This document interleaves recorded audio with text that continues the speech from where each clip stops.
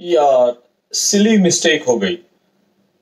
Don't be silly to make the silly mistakes this term I have heard so many times n number of times मतलब जब मेरे बच्चे छोटे थे, बचपन से सुनता आ रहा हूँ। I have heard from my kids I have heard from other kids who are preparing for exams कि यार सिली मिस्टेक हो गई। So point which I try to tell you today is don't make silly mistakes it's very important that you read carefully the question paper. You should read the instructions carefully. You should read statement of the question properly before you tick on the choice.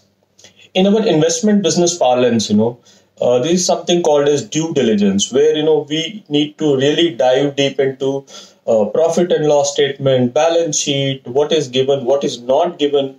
So same way in your preparation make sure that you are diving deep into what is given.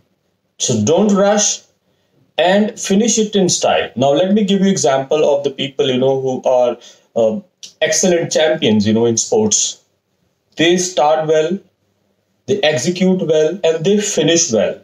Now how this is possible this is possible if you are practicing properly you are doing several tests you are doing time bound tests you're reading everything carefully your mind is fresh you're confident so with practice your confidence will grow so don't again say that अरे यार silly mistake हो गई silly mistake नहीं होनी चाहिए do it like champions और फिर से मत पूछना ठीक है?